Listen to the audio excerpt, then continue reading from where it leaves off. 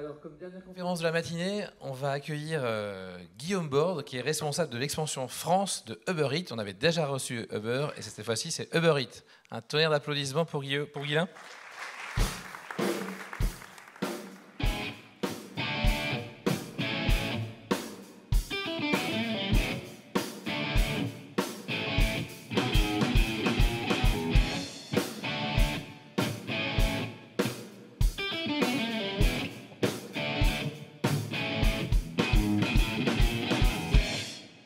Allez, c'est parti pour la dernière conférence. Merci Kylian d'être là.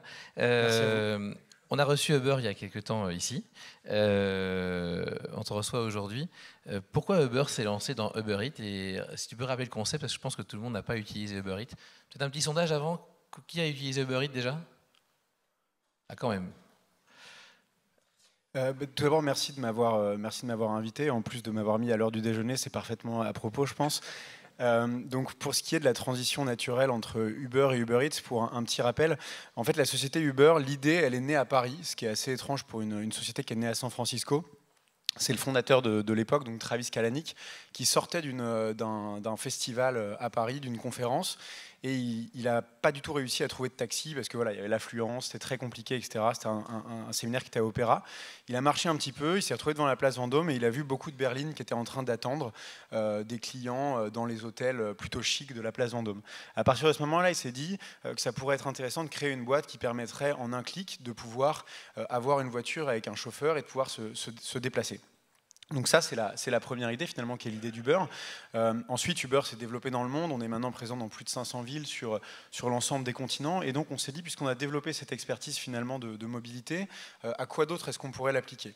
Euh, Et donc l'idée, l'idée, c'est de se dire, puisqu'on est capable de transporter des personnes d'un point A à un point B, pourquoi est-ce qu'on ne le ferait pas finalement avec la nourriture et d'ailleurs avec d'autres choses? Donc assez naturellement, puisque les gens mangent en moyenne trois fois par jour, en tout cas en France, on s'est tourné vers ce marché-là. Et aujourd'hui, hein, en France, ça représente combien de villes déployées? Alors aujourd'hui, on a, on a 140 villes de, déployés en France, dont un, certain nombre en, Bretagne. Euh, assez naturellement, on s'est développé sur les plus grandes métropoles euh, françaises dans un premier temps, avant de, s'intéresser et de se développer dans les, euh, on va dire, moyennes et petites villes en France. en Bretagne, par exemple, on est présent dans des villes de, comme Lannion, Saint-Brieuc, Saint-Malo, évidemment Rennes, Quimper, Lorient et Brest. Uber Eats, c'est un système euh, Internet, une application mobile. Euh, souvent, je me souviens, les fonds d'investissement n'aiment pas trop les systèmes pas très scalables. Euh, c'est scalable, Uber Eats C'est des process un peu compliqués de déploiement. comment on fait pour installer une nouvelle ville?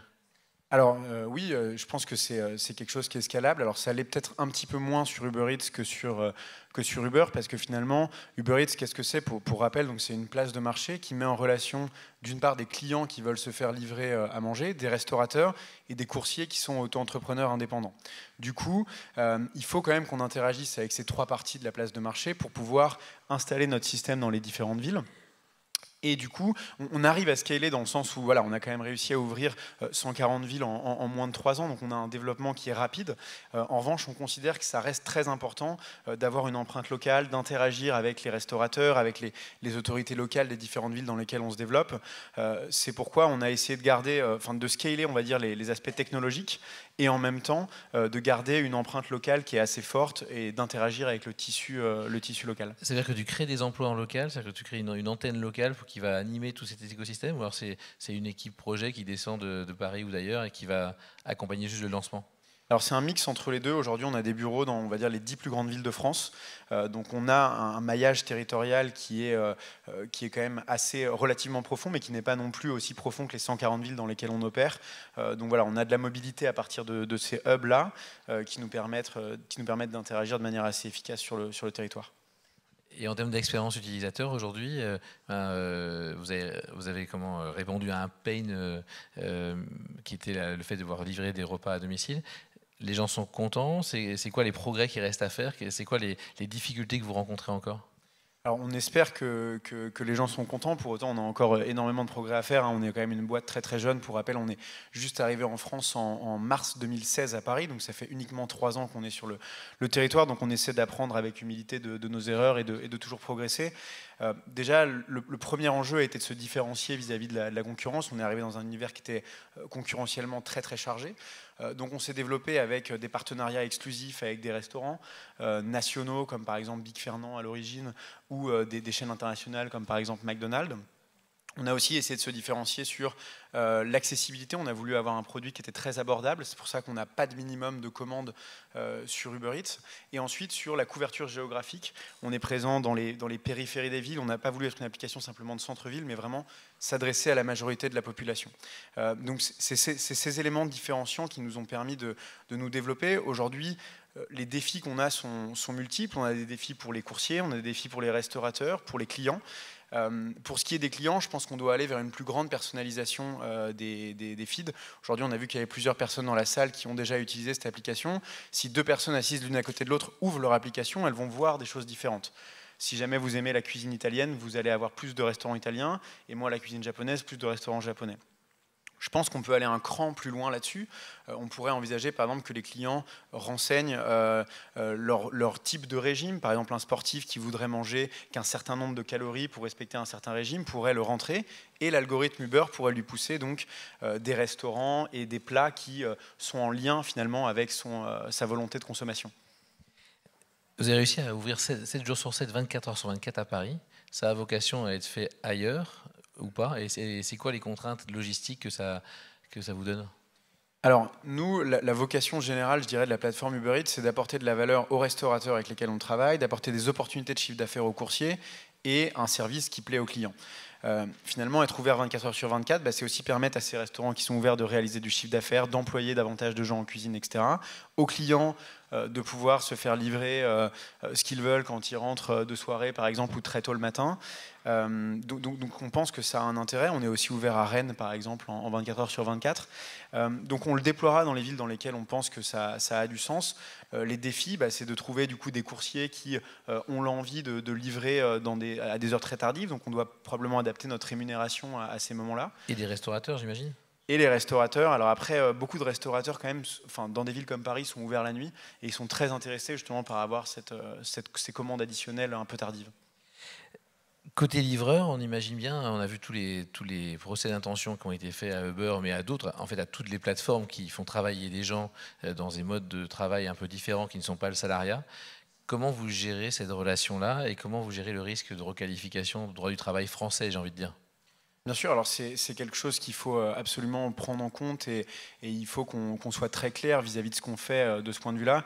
En effet, les coursiers aujourd'hui sont sur le statut d'auto-entrepreneur. Nous, ce qu'on offre aux coursiers, c'est euh, un travail avec énormément de flexibilité, une opportunité qui leur permet finalement de se connecter quand ils veulent et où ils veulent. C'est-à-dire que demain, un coursier de la ville de Brest, il peut choisir de se connecter toute la journée s'il le veut, de ne pas se connecter pendant trois mois, il n'a personne à prévenir.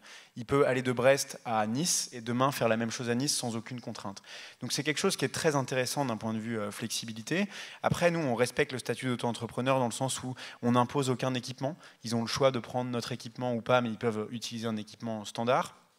Ils se connectent quand ils veulent, où ils veulent, et ils n'ont à prévenir personne finalement de, de ce qu'ils font. Ils ont payé au forfait? Alors, il y a, la, rémunération est un petit peu, euh, un petit peu complexe, donc je, peux rentrer en détail dedans si vous voulez, mais je, pense que je vais. C'est juste parce que je vois des questions du public sur la façon dont ils conduisent ou ils se comportent. Euh, alors, je ne sais pas si c'était spécifique à Uber Eats en l'occurrence, mais euh, est-ce qu'il y a une pression particulière là-dessus? Est-ce que comment vous gérez la qualité de comportement des livreurs? En fait, on n'a aucune pression sur la rapidité. C'est-à-dire qu'un coursier, on ne va jamais, jamais lui dire qu'il doit livrer en temps de temps. Euh, il ne va pas avoir plus de courses si jamais il livre plus rapidement qu'un autre, etc. On, pense évidemment avant tout à sa propre sécurité, à la sécurité des usagers de, euh, de, la route aussi. Euh, ils, sont, ils ont des rémunérations qui sont à la course, des rémunérations qui sont à l'heure dans certains cas. Ils ont des primes en fonction des conditions météorologiques pour aussi prendre en compte la pénibilité du travail dans le cas où il, y aurait un temps qui serait très difficile. Et ensuite, comment est-ce qu'on arrive à monitorer un petit peu la qualité? Euh, bah, Finalement, l'idée, c'est euh, d'essayer de, se dire qu'on a une charte euh, de bonne conduite pour ces coursiers, avec un certain nombre d'éléments. et dans le cas de non-respect de cette charte, on peut aller jusqu'à la suspension du, compte d'un coursier qui ne respecterait pas les, règles. Côté restaurateur, on a vécu dans la grande distribution euh, l'arrivée des drives. La grande distribution a assez mal vécu cette arrivée, puisque ça sortait les, gens du magasin. Euh, finalement, on faisait le, travail à la place des, clients. Euh, les restaurateurs, ils ne voient pas ça aussi comme un risque pour eux de se dire on va vider les restaurants des clients qui avaient l'habitude de venir, parce que c'est facile de se faire livrer.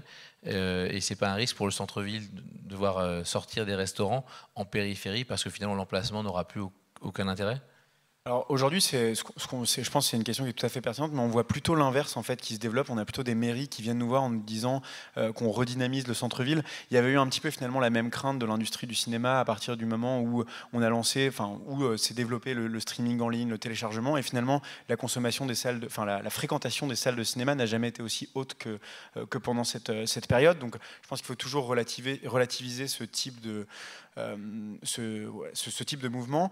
Aujourd'hui, les restaurants, ils ont le choix d'être partenaires ou pas. Donc si jamais on euh, n'agissait pas dans leur intérêt, finalement, euh, tous les restaurateurs qui quitteraient notre plateforme, euh, donc je pense qu'il faut évidemment prendre en compte les, craintes à ce niveau-là, mais aujourd'hui je pense qu'elles ne sont, pas, elles sont pas véritablement avérées. et enfin, nous, ce qu'on essaie, c'est d'apporter beaucoup de choses aux restaurateurs on lui apporte notamment énormément de, données. Aujourd'hui, on sait ce qui se consomme où ça. On sait que par exemple dans tel quartier de, Brest, par exemple, c'est plutôt la pizza qui est consommée, c'est plutôt des sushis, etc. Et donc on aide les restaurateurs à leur dire, vous devriez développer tel type d'offre. Euh, votre, sur votre carte parce qu'elle est pertinente pour la population locale. Et c'est aussi un intérêt pour le restaurateur euh, de pouvoir tester des choses sans avoir à réimprimer tout son menu, etc. Demain, si vous êtes restaurateur et que vous vendez euh, des pâtes, vous pouvez lancer une recette de pâtes au saumon sans réimprimer votre menu, juste la mettre en ligne, voir les avis les avis clients qui vont en ressortir, et du coup éventuellement euh, investir physiquement dans votre restaurant sur ce menu-là. Des questions sur le RSE. là, les véhicules aujourd'hui sont des, sont des motos ou des mobilettes à carburation, je vais dire. Euh, c'est prévu que vous vous équipiez différemment. Euh, euh, on voit des vélos électriques ou des trottinettes électriques par Uber dans différents endroits. Vous n'avez pas vocation à faire changer ça? Alors si tout à fait, déjà on a, on a un partenariat national avec un acteur de la location et de la vente de vélos électriques où on a négocié en fait des, des tarifs préférentiels pour nos coursiers, ce qui veut dire que voilà, un coursier qui voudrait rouler en vélo électrique, on a une solution pour lui et c'est une solution qu'on essaie de pousser pour la tranquillité des centres-villes, euh, pour l'impact écologique que peut avoir ce type d'activité. Après, euh, c'est lié au statut d'auto-entrepreneur. Finalement, le, livreur est maître de son véhicule. Alors nous, on n'autorise pas la livraison euh, en voiture. En revanche, il peut rouler avec tout type de, de, roues qu'il souhaite, à partir du moment évidemment il a les autorisations en ligne avec ça. Dernière question, euh, on parle d'innovation. Euh, c'est une start-up récente. Euh, est-ce que tu bosses avec des start-up aussi, de la food tech? C'est quoi votre stratégie par rapport à ça et, comment tu vois l'évolution un peu de, la food tech dans les prochaines années?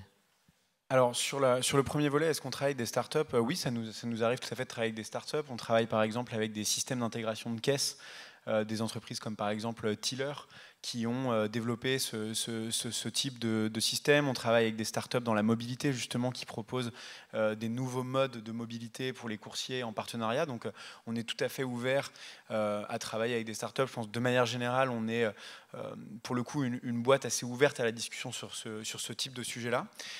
et sur ce qui est l'avenir de la food tech, c'est assez difficile à dire parce que c'est un marché qui est, très récent. Je pense qu'on voit vraiment un développement et une appétence de la population locale, tant des restaurants, des coursiers que des clients pour ce type d'activité. Donc je pense que c'est très très prometteur pour, euh, pour l'avenir. Euh, pour ce qui est une vision un petit peu futuriste, on a commencé à, développer la livraison par drone aux États-Unis. Euh, donc on a eu le, feu vert, on va dire, de la, fédération euh, aérienne américaine qui nous autorise du coup à, transporter euh, des plats par drone. Concrètement, il y a bah, un petit drone qui arrive devant le restaurant, le restaurateur place le plat dedans. Ensuite, il arrive, grâce à un QR code qui est sur le toit d'une voiture, il arrive à se poser dessus.